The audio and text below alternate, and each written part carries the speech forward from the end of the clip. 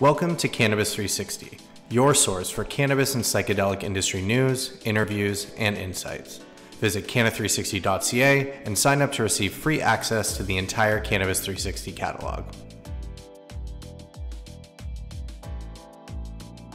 Samantha, do you want to introduce yourself and tell us a little bit the work you do and kind of how you're involved in either the cannabis or the psychedelic industry here? Certainly. Um, I'm Samantha, I trained as a chemist, but got really, really tired of being a chemist quickly when I moved into industry. So I started helping startups get get going um, almost instantly. What I do in this space is pretty much helping early stage companies uh, assess their portfolio of assets and and move towards some critical value inflection point. Um, I spent two years with a startup in this space. Um, I have some experience in the cannabis space just because, you know, back in 2018, many chemists were recruited from pharma and manufacturing into that sphere. So I have some um, experience for sure with with companies there. But uh, what I do now really is focused on um, due diligence for companies that are uh, drug development adjacent, but also psychedelics adjacent. So really trying to break into a space that has already flourished. Um, and I work with VCs um, uh, to help them kind of gauge where the prospective companies are. Um, and I do some project work for uh, some of the companies in this space as well as a consultant. Beautiful. Well, yeah, you said consultant once, but chemist twice. So Alex is getting the next nod for introductions here. Yes, I'm Alexander Samuelson, uh, better known as Alex the Chemist. Um, I was also a board chemist in industry. Um, couldn't really find a lot of work, and at the same time, um, was on uh, a couple of different pharmaceuticals just to help with things that were going on in life. Got into the medical cannabis space. Didn't really touch cannabis beforehand, and as a chemist, board out of chemist work, uh, board um, out of work chemist with the internet, I thought, hey, I'll learn about this, and got into a career in cannabis. And uh, this really informed uh, over the past seven years, this really informed um, my thoughts and, and just gave me experience for the psychedelic industry and to apply what I learned in uh, helping the cannabis industry go from uh, gray to medical to legal and try and help with that transition in the psychedelic space. And uh, currently, I'm the co founder and uh, chief research officer of Haven Life Sciences, a psychedelic company that we grow uh, and cultivate mushrooms in Jamaica and shipped to uh, Health Canada and DEA licensed laboratories. Well, I thought we were going to transition on the word transition, but now we're doing laboratories. So, uh, Mr. Lucas, uh, they both start with Mel. Can you please introduce yourself here? Thanks, Patrick. Uh, my name is Lucas McCann. Uh, I'm also a chemist. Um, I went to university for about 13 years and uh, committed a lot of money uh, to uh, post-secondary institutions. Uh, following my uh, more formative uh, academic career, I ended up at Health Canada in the health products branch. under the regulatory operations and enforcement branch located in Toronto. I worked there for a while. Um, found the work there to be very interesting uh, very uh, engaging, um, but um, decided to part ways with the public sector and co-founded with another Health Canada employee from the medical cannabis program, uh, CanDelta, which is a regulatory and scientific cannabis focused uh, consulting firm that also has done some work in the psychedelic space. Um, so over the last, I would say, year and a half, there has been some increased interest in our client base for uh, looking at uh, the quote unquote psychedelics industry. Um, folks, I think, from what I've seen, are very curious about what that uh, can evolve into, what it will change into, and I hope to uncover some of that uh, during the panel today. Um, and yeah, happy to uh, to speak also from the perspective of a chemist, along with uh, some other accomplished folks on today's call. So happy to be here. So you guys are telling me that I'm the only not chemist on this panel. Any kind of degree or accreditation to call yourself a scientist. So in theory, we're all scientists in life. So uh, you're uh, you're amongst friends here, Patrick. I, I am a scientist. Um, leave the scientist uh, stuff to you guys. You forgot the UCAN Academy there, which I thought was one of the most important points, but we'll leave that there. Um, so you guys all clearly have experience in cannabis, in psychedelics, and you know one of the talking points early on when we saw the industry emerge was okay, what are the similarities? What are the differences and and you know how is this gonna roll out and how is it to be the same? How is it to be different? So uh, maybe lucas since you did the last intro we can start with you. And i feel like that's probably a question that everyone can touch on. So we'll go lucas alex samantha yeah, great. Um, so I, I, think the um, the comparison of psychedelics and psychedelic medicines, psychedelic assisted therapies, to something we know in terms of its its sort of regulatory stand standing point with Health Canada uh, is something that I guess is very easy to do, uh, largely because like the cannabis path has been very well understood. Um, they have taken, I would say, largely different directions in the the last uh, the last number of months, especially. Um, but you know, to to sort of go back to what the cannabis path looked like. Um, we had a court ruling in 97 at the Superior Court, Ontario Superior Court level, which led to an access to cannabis as medicine pathway. And spurring from that were uh, were folks looking to access cannabis effectively through what's called a Section 56 exemption of Part J um, of the CDSA, um, which would allow for folks to acquire access to these products um, for medicinal purposes, um, but very uh, very shortly after that, a number of years after that uh, Ontario Superior Court ruling in 2001, we began to see um, the MMAR come into effect, which is a program that allowed allowed for personal use and production of cannabis products. Uh, where we're at today is, if, if we can call it even a psychedelics industry, is very much at its infancy. Um, we've already seen some divergence of the path from cannabis, but you know are, are ex- excited from some of the, I think, important benchmarks um, that we've taken or that we, we we've seen sort of this uh, um, this particular treatment pathway take in the last little while uh, through the Section 56 exemption as a starting point, and then through other um, programs for access, such as the SAP or Special Access Program. So in short, uh, they have sort of an initial starting point, but it looks like it, it's diverging a little bit into uh, into how it's being regulated, controlled, and how uh, folks that are requiring its use are, are acquiring access. Beautiful. Uh, so we've got the in short. Uh, Alex, do you want to do the in long or? Uh, yeah. So in addition to what Lucas was saying, um, the similarities are that both were controlled substances and both have communities of people um, speaking to its efficacy in some kind of um, medical therapy. And I think that that gives people the idea that they're going to track exactly the same way. Um, and much like the phrase history doesn't repeat, but it often rhymes, I think it's a very similar case here with cannabis and uh, psychedelics, particularly uh, psilocybin and MDMA, um, where with psilocybin, it's a natural product. Um, people seem to have a reaction to nat- wanting natural therapies rather than pharmaceutical drugs. Um, so I think where it will track is that these are controlled substances that were typically thought to be just recreational, had no medical benefit. We are now finding medical benefits. We have scientific studies that show the efficacy of this. And in a lot of cases, psychedelics have shown better efficacy than cannabis for treatment of anxiety, depression, PTSD. Um, end of life anxiety is a very particularly big one uh, for palliative care patients.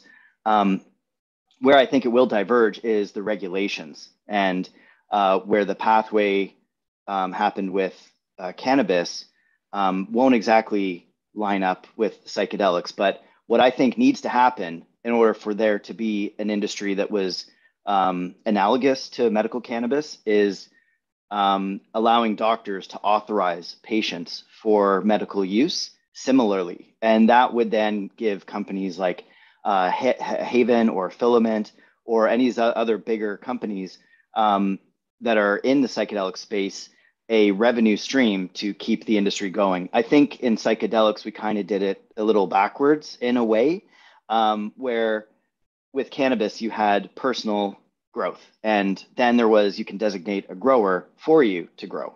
And then under the Harper government, they had changed that and then said corporations are going to be highly regulated. And then these will then provide the medicine for the patients. Um, and I think now we have, we, did, we, we never had the uh, component in the psychedelic industry where we were given access to grow ourselves and, and all this en masse by doctors. Um, so I think that's where the first thing has to change is the ability for the patients to actually be authorized to possess and or create or buy from a uh, company uh, like mine that is regulated, goes goes through regulatory approvals, uh, and make sure that everything is um, lab spec and GMP spec.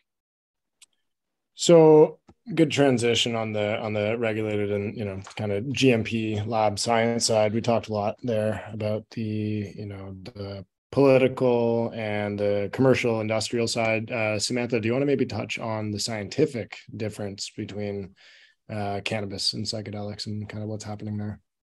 Yeah, certainly. I mean, I think it's fair to say that these are both considered high interest substances. You know, not all psychedelics can be derived from a natural source, but most can, the first generation psychedelics. So there's obviously a natural similarity there, no pun intended. Um, but you know when it comes to the differences the two categories that i see as kind of standing out as where these could also diverge from each other psychedelics and cannabis that is um, is the basic research in general that is being done in the preclinical and discovery environment not just for drug development mind you um, but for other things as well.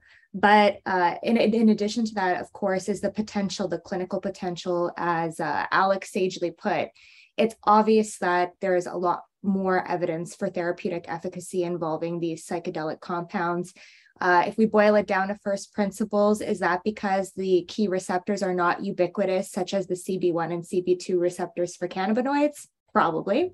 Um, but, you know, in terms of where this goes, when I mention basic research, I think that psychedelics in particular have really unique properties, I'm sure many of you uh, listening have heard about the, the term structural and functional neuroplasticity and how psychedelics have shown in vitro that this uh, happens when you know psychedelics are administered to some kind of neuron. Uh, what that means is that not only do these have potential for clinical utility, but if you talk to you know a benchside neuroscientist, these have an immense immense potential to be used as a tool to understand uh, mechanisms of action of different classes of psychoactives and to also be used as a tool to understand the pathophysiology of different complex neurological disorders, which I feel is a really untapped subset of psychedelic biotech that hasn't actually started yet. So there's a lot of excitement. I mean, we can talk about the different structures, but I think in a nutshell, it's safe to say that both are psychoactive. However, you know, you have psychedelics exhibiting a whole um, plethora of scientific characteristics and bioactivity that just aren't there for cannabis. Does that relate to potentially scientists not fully understanding why we have or what the endocannabinoid system is? How would you clarify that? So do you mean do you mean to say that um, maybe we just don't have enough information about the endocannabinoid system yet. Yeah, like like serotonin, dopamine, you know, the 5-HT2A, B, and C receptors. A lot of research already done on those, but you know, the endocannabinoid system still relatively a bit of a mystery. That's a really good point. I think looking at the molecular biology of endocannabinoid systems in general, it's really obvious that these receptors are pretty much everywhere in the body. And if I look at it in a very simple way, um, serotonergic receptors are located mainly in the gut and the brain. Um, but you know, there's always the possibility that we don't know something.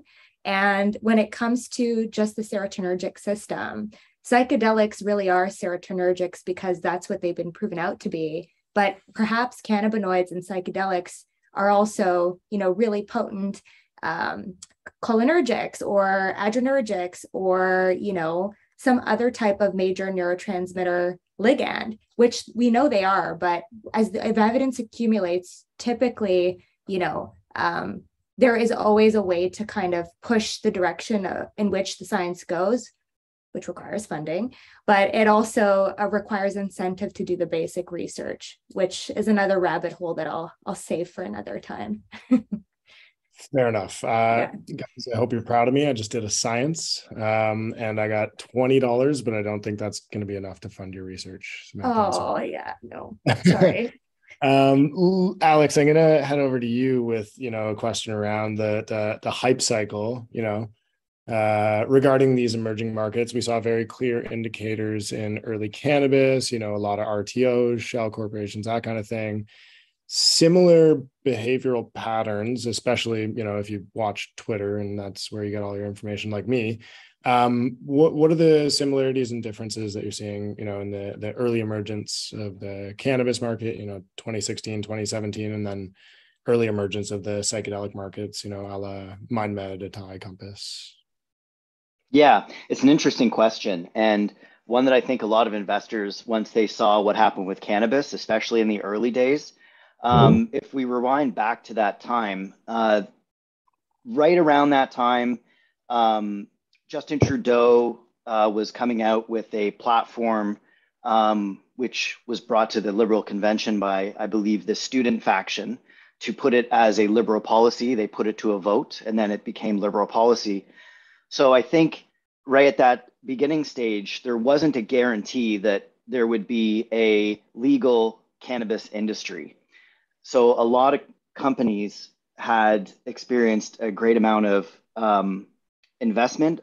And then there was a bit, a bit of a lull. And then when, once the liberals, once the Trudeau got in, the liberals were really pushing cannabis as a platform. And especially once they got in, I think that's when a lot of money got thrown in there. And we had evaluations that were just silly billion dollar companies, hundreds of millions of dollars uh, uh, uh, worth of valuations on um, a room no bigger than mine. Uh, that, but it had a company that had a license, so there was this whole potential, um, and there was a lot of fervor. But cannabis was very different because there was a established medical program. There was still revenue generation with the patients then, once legalization came in, there was this whole population, which was potential for revenue generation. I think with psychedelics, there was that hype where this is another uh, illegal substance or controlled substance that is now being brought in to the uh, wider society. But that's happening very differently than it did cannabis. So I think there was an initial hype, and you saw this in the investment. Um, last year or the year prior, there was a huge investment, a huge bubble for about anywhere between three to six months, depending on which company you're really looking at, but really about two months focused around December, January, uh, February ish of uh, 2021. There was a huge influx of money. And I think this is where the hype bubble came in. But I think once investors realized that it's not like cannabis, we don't have an established medical um, uh, program yet, we don't really have many sources of revenue. Um, I think that's where a lot of the hype bubble got burst um, what companies like Haven, Compass, Filament, um, Psygen, and MindMed and others, um, what we are, we're kind of the vanguard of this industry. We're trying things out. We're experimenting. We're seeing if uh, production works.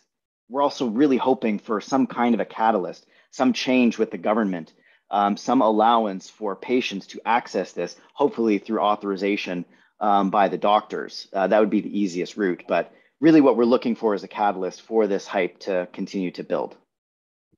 Well, would you look at that? A Sagui. Um, speaking of catalysts and excitement, Lucas, we you know initially saw a lot of interest around the C56 exemptions. You know, they're not being granted as easily as they were originally. Um, do you think this has had any significant impact in terms of like the potential of the market in Canada internationally or or otherwise on a recreational basis even? Oh, there's a lot to unpack there. I mean, maybe I'll start by writing Alex's coattails for a little bit and talking about uh, the shared experience from the um, from the the flash in the pan of hype that we we I think we're all seeing over the last year or so. Um, from a, um, a, a licensing professional perspective, there were a number of folks that were approaching us looking to acquire uh, Section 56 exemptions under Part J of the Food and Drugs Act, and and and looking at getting dealers licenses. And we um, have knowledge that there are, I think, in Canada alone, approximately 52 companies that IPO'd that uh, have some um, some sort of service offering within the, the psychedelic sector. Uh, many of those companies, again, are not brick and mortar spaces or um, probably a lot of them even just exist solely on a on a, on a slide deck um, and have uh, you know garnered the attention of many many investors um, that uh, that did sort of tend to fizzle out at the beginning of this year uh, also coincidentally from um, from last year to this year, we've had some very important changes to how um, patients specifically are acquiring access to these controlled substances, uh, namely uh, uh, psilocybin. So just very quickly, the, the Section 56 exemption um, would allow for folks to acquire access for um, uh, controlled substances. Um, it could be for a, a, person, an individual, or a group of people, such as for a clinical trial. Um, you know, effectively allowing under, you know, careful control and supervision with a, you know, um, many times a protocol being reviewed, um, uh, a condition in which this could um, um, provide some sort of sh- short-term um, access to these folks. And with the influx of requests for exemptions uh, that came in specifically around psilocybin, I mean, from a regulatory perspective, we saw Health Canada really pump the brakes and say, hey, you know, what's going on here? Um, from that, there was the um, the inception of a new program on January 5th of 22 um, called the Special Access Program. Um, and what happened was Health Canada then canceled all of the pending Section 56 exemptions that had been filed for uh, largely were, were, were, patients looking to acquire access for uh, end of life anxiety treatments um, that was, you know, experimental or potentially even anecdotal in, in Health Canada's opinion, or folks looking to to treat some kind of other ailment for which other um, other treatments had failed. Um, uh, TRD is another one, treatment-resistant depression. Um, you know, effectively, folks that were um, you know looking at it, it what what few options they had left to deal with whatever you know mental health or, or other ailment issues that they have and we know we know from the studies that uh, that have been done at Johns Hopkins University that you know psilocybin um, uh, assisted therapy can be used from anything from uh, treating depression to uh, helping folks cope with tobacco or alcohol cessation. There's there's a wide range, and it's one of the only substances that actually provide acute, long-lasting effects after a sole treatment. Um, so these canceled 56 exemptions. Um, uh, the applicants were then told to reapply under uh, the, the special access program. And, uh, and and that took a, a serious, a seriously long time for uh, for for those applications to sort of move through the pipeline. Um, with the creation of that that program, um, you know, it does require again practitioner oversight. And um, funny enough, the the applications themselves, I believe, still to this day for the SAP are actually submitted by fax, which Health Canada is a big fan of. They see that as a very secure method of of communication. Um, Right. So, so getting back to that, you know, having a, a, a pathway that is designed for um, for uh, uh, for for folks requiring access to medicine with practitioner oversight, I think has created a lot of hype uh, in, in in the industry again. Um, you know, we're not necessarily seeing that from the from the publicly traded perspective, but much more from, I guess, like an ethical perspective for allowing folks to, to get access to this medicine. Uh, very important follow up question. Who other than Health Canada requires you to fax them these days?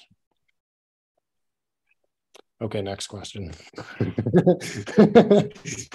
um, Samantha, we we you know we talked about the SAP and the Section C56. Recent news, um, you know, TheraPsil launched a, a, a, you know fundamental charter challenge against Health Canada. Uh, you know, kind of following, I mean, almost literally the exact same playbook as uh, cannabis in, in '97. Same lawyers, you know, same kind of you know language for, for that. What are your thoughts on uh, you know this approach to getting psilocybin and other psychedelics uh, sort of move forward in Canada? I'll start by saying that I think TheraPsil is very well intentioned and that they mean well.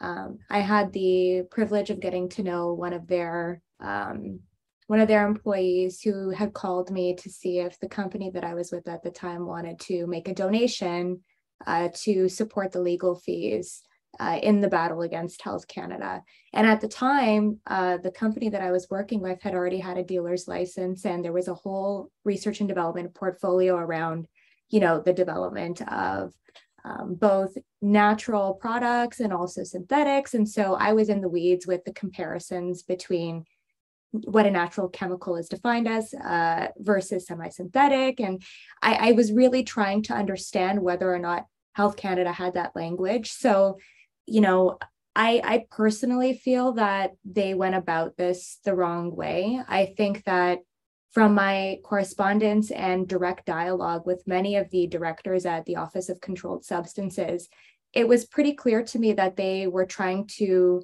elicit as much information as possible from different groups of experts, uh, different professional consultancy groups, and different scientists to make sure that they were always informed.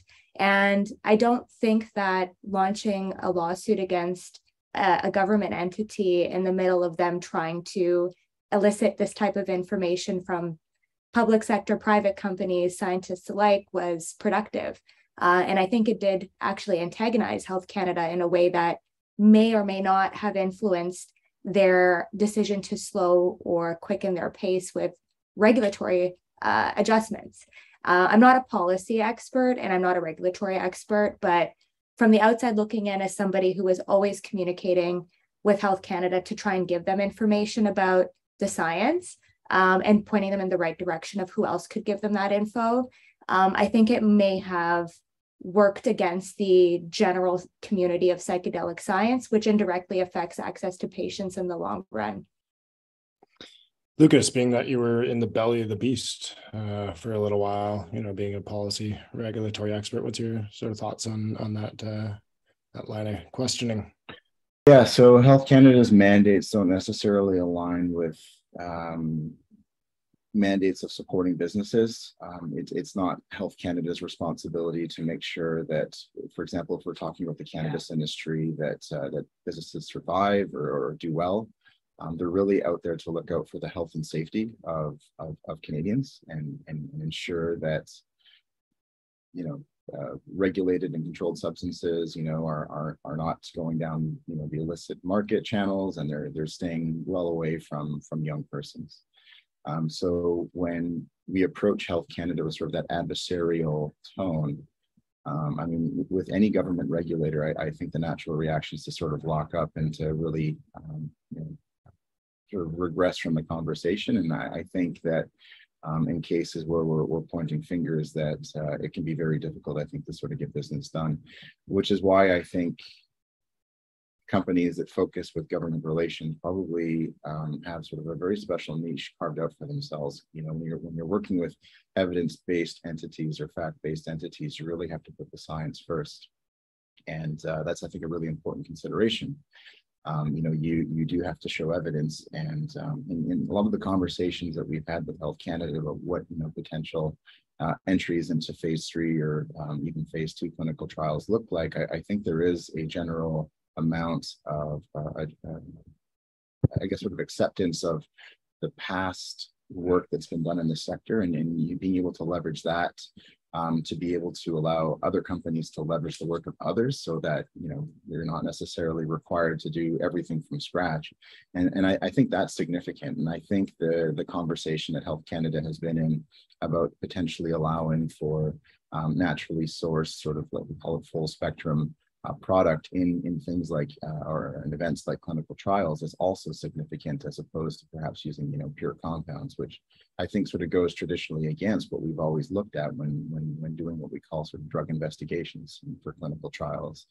Um, and you know for those that aren't aware you know for for probably many or um, all products typically historically you know, are, are pure APIs, active pharmaceutical ingredients. So does it suggest a, a, um, a mixture of natural products as a potential medicine? You know, is is is very counterintuitive to what uh, pharmaceutical science is, is really based on. You know, but those are conversations that Health Canada has has has considered and you know has been open to, and I, I think that uh, you know conversations surrounding um, the potential for like an entourage effect with with these compounds um, and the receptiveness from Health Canada shows that there is a willingness to work with uh, folks from the scientific community that have seen um, seen evidence that those might be more effective in the long run for, um, uh, I guess, medical uh, medical guided or medical mediated therapies. Fair enough. It seems like a bit of a, a tale as old as the the tortoise and the hare, and uh, we'll see how it works out on this one.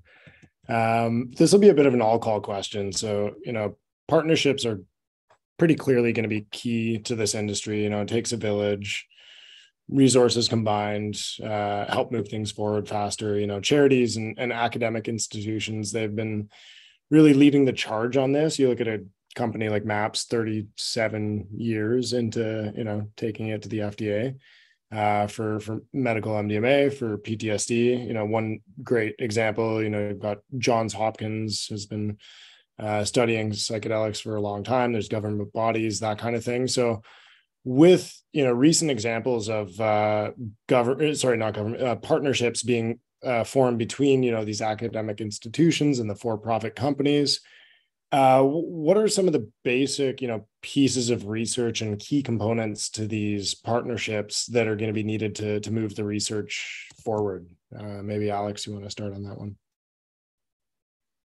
Sure yeah i'd be happy to. So when it comes to where we're at in the psychedelic industry, there definitely has to be a lot of work between the companies doing research within. Um, this will be trade secrets, but there also be a um, necessity for companies to work with universities and then also other companies that are doing clinical trials to really understand um, the uh, uh, the properties of the drug, uh, say psilocybin. Um, so for my company, we would want to understand how to best extract the um, the wanted components of the, the mushrooms into an extract or bring it all the way down to a single API of psilocybin or psilocin. Um, that will then be the starting material for making second and third generation drugs like derivatives. Um, one really easy one off the top of my head is methyl psilocin, which is said to have less hallucinogenic properties, but is also said to help with migraines and cluster headaches, very similar to 2-bromo LSD.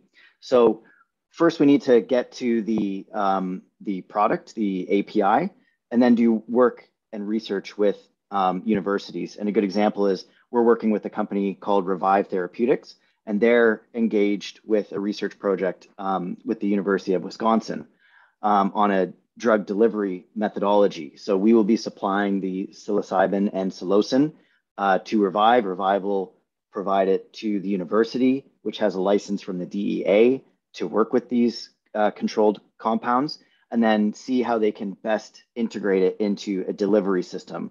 And in their case, it's a it's a bit of a it's a strip that would dissolve uh, into the skin.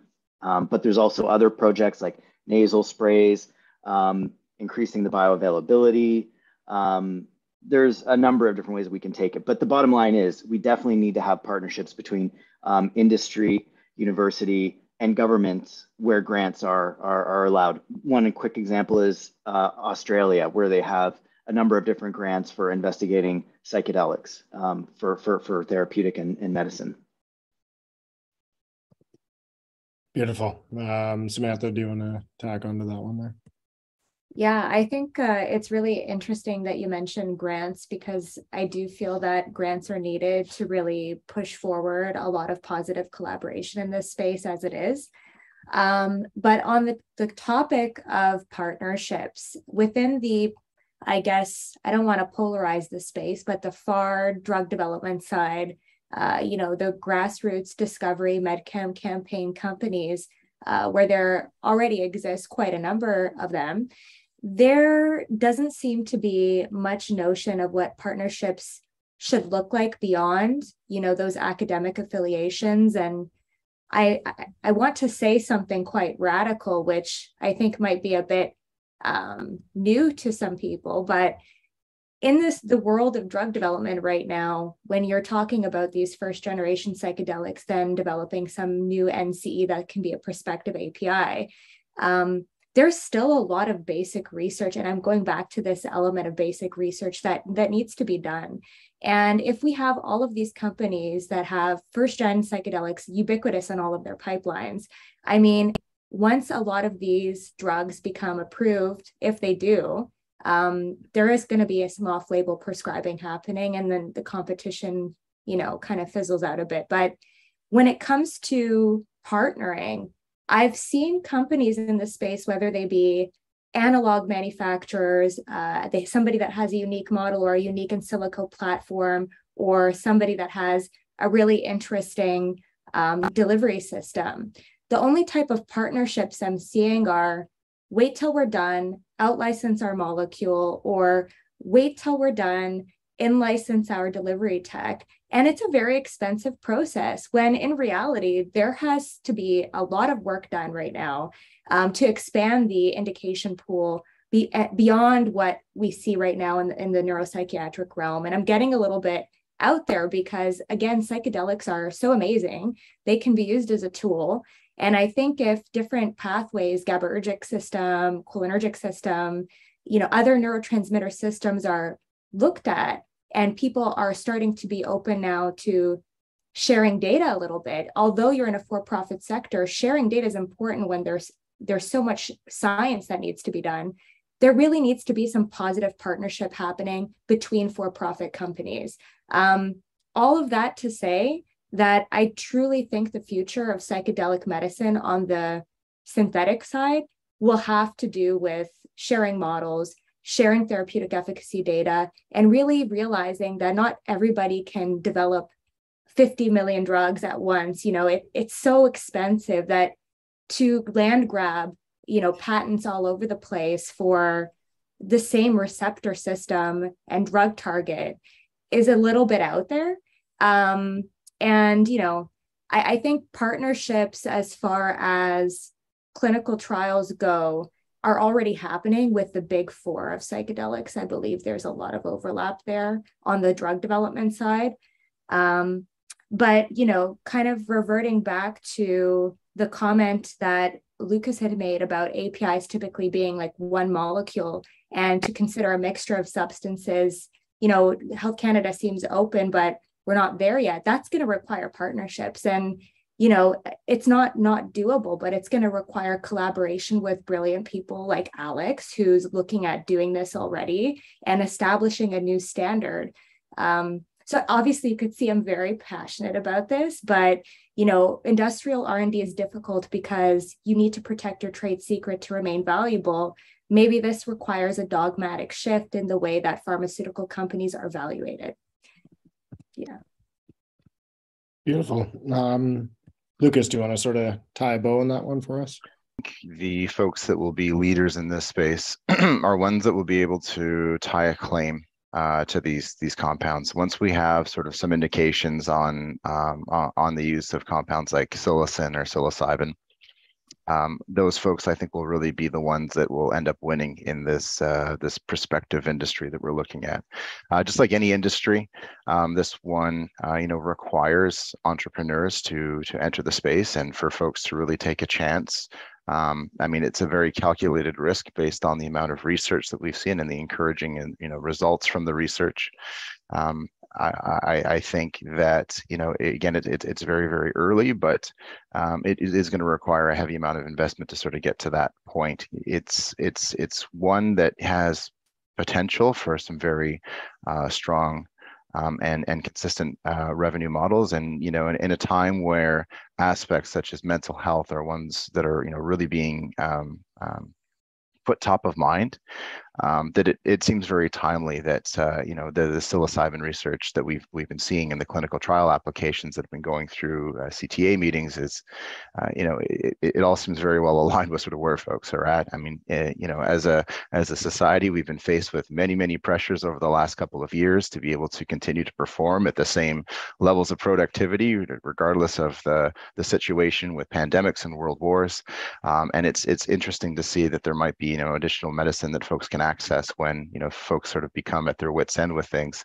uh, or um, you know they're they're perhaps facing something a little bit more serious. I, I think one of the the bigger take home messages that I wanted to give here is that um, there's a lot of uh, there's considerable amounts of ailments that you know psilocybin has been um, anecdotally um, associated with being able to help uh, either with in, in, as a treatment or even the potential for for certain cures and the the framework that we have now really limits that access to folks that are basically end of life. You know and could you imagine if you could just instead of picking up a patch uh, to quit smoking um, you know pick up a pill and then the next day you had zero desire to smoke a cigarette again you know what the impacts would be on on on health and and the safety of uh, of, of, canadians or the the population of the world it would be significant. Um, but as things are today it, it's unfortunate that you really have to be basically on a deathbed before you can uh, even um, be eligible uh, to get access uh, to experiment with some of these, these these medicines. Yeah i mean i'd take a pretty hard and strong stance on that personally, not from a regulatory or political or anything stance, but you know, criminalizing somebody's consciousness is just downright wrong in my in my opinion. You know, I'm a I'm a big proponent of while we're doing the science, you know, while we're medicalizing and that kind of thing, making somebody a criminal for changing the way that they think or see things and all that is just outright outrageous in, in, in my opinion. You know, like these things, most of them, you know, they're not plant medicine you know, fun, fun, uh, the mycelium network. It's not a plant. MDMA isn't a plant, but I like to call it planet medicine. And you know, if I want to explore the orbit on my own time, and as long as it doesn't hurt anyone or, or you know offend anyone, that kind of thing, I think it, it honestly it should it should just be moved along in a more expedient manner. I mean, me personally, I tripped on um, psychedelic truffles for the first time in Amsterdam a decade ago, and didn't ruin my life. It didn't, you know, cause any upset. It actually kind of made my life a whole lot better. And here I am running a psychedelic media company. Who'd thunk?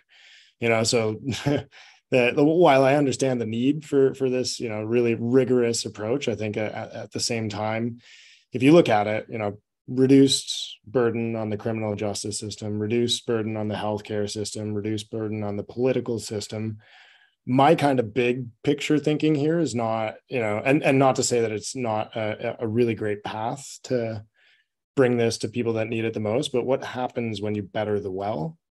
You know what happens when people really get to that next level and you're reducing kind of the negative impact of uh, drug criminalization all over the world? So that's just kind of my uh, two cents on the topic but there's 98 left to go.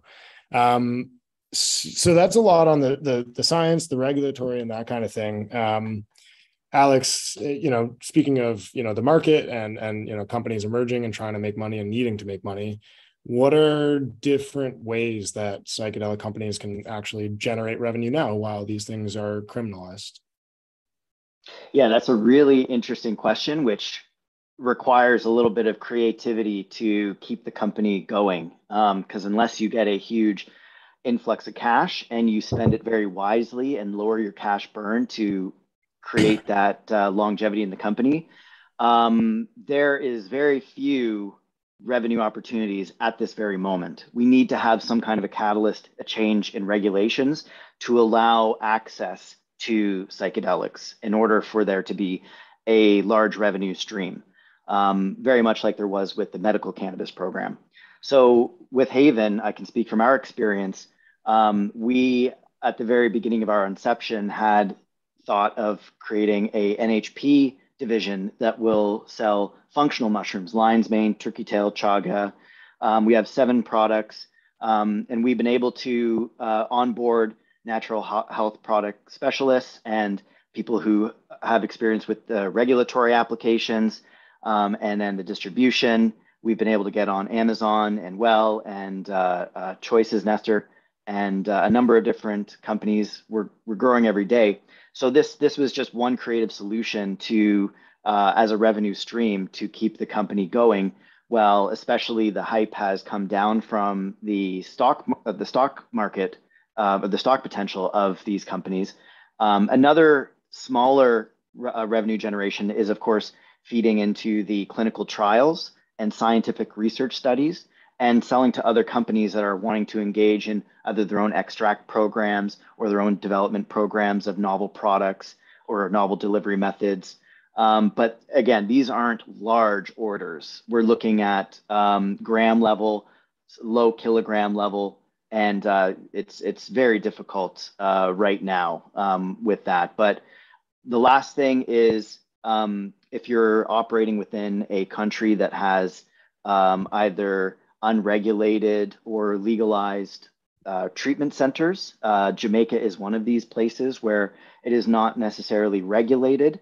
Um, so it's a fairly open industry. This is also another revenue stream. But again, with a smaller country, um, it's not going to generate millions of dollars or billions of dollars uh, at this time. We really need regulations to change and shift. Quite true. Um, so it's pretty evident from this conversation that you know while the cannabis emergency uh, uh, sorry industry it's not an emergency don't worry it'll relax uh, you know the Feels cannabis like industry has, has, been developed and and uh, you know is really kind of taking a life form of its own the psychedelic industry in a sense um, while it had a movement in the 60s and went backwards and you know we're just kind of coming back out of that here it's in its early stages. There's a lot of startups, you know, kind of finding their way, exploring new paths. You know, there's 25 companies doing psilocybin for depression. There's one interesting company that I uh, just spoke with that's actually, you know, studying DMT for hemorrhagic strokes at microdose levels. Who'd have thunk? Um, Samantha, given your expertise in sort of early stage and consulting and probably a lot of conversations with industry experts and executives and that kind of thing, what's some maybe cautionary advice or just general, you know, get ahead advice that you might give to some of these companies trying to carve out a path and be successful moving forward? I mean, the first thing I'll say is that I think Lucas also mentioned 52 public companies. Are they are those all on the Canadian Securities Exchange? Way okay. more now. Yeah. Yep. And I think about 500 patents have been filed.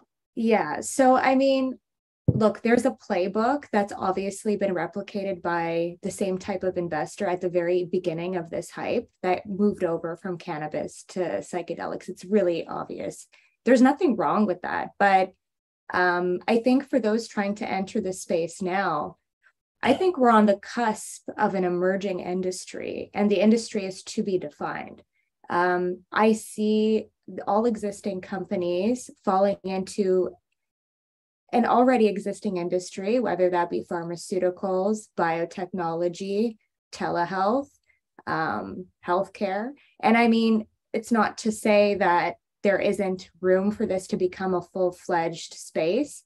I think that for those that have an idea, perhaps looking at your team, looking at your expertise, and figuring out what your proof of concept is going to be is your first step, and then assessing the competition.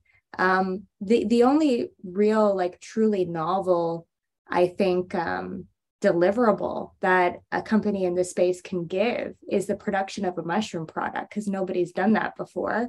Um, but I think to say to a, a group of individuals that are really gung ho about developing a mushroom product to wait until the regulations change perhaps reverting to first principles and doing some basic r&d might give you some new ideas and it also might help a strategic advantage kind of take shape um, the other thing i wanted to mention around hype too is if you meet a consultant that tells you your company is worth a billion dollars.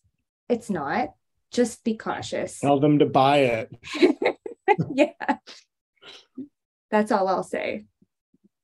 Beautiful. Um, well, I did um, just kind of get the the 45 minute cue for this panel, I think, and I, I forgot to introduce myself at the uh, beginning of the interview, I'm Patrick. I'm from Microdose uh, Psychedelic Insights. We do some of the world's leading uh, psychedelic conferences. So if anyone wants to uh, check that out, our next conference will be in Miami, Wonderland, November 3rd to 5th, and we'll have some of the world's leading experts uh, speaking there. We actually, um, oh, wait, we haven't announced that yet. I can't say that. Sorry.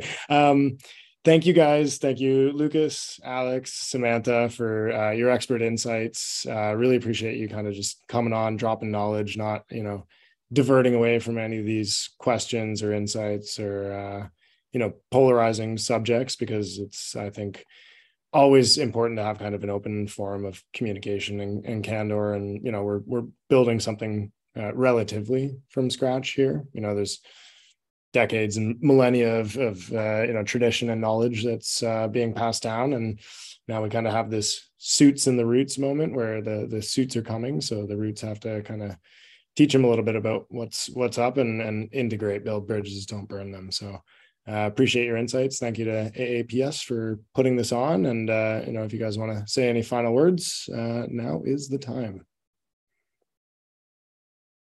Sounds like we're good thank you Thanks, folks Patrick. Thanks, everyone. Thanks, everyone.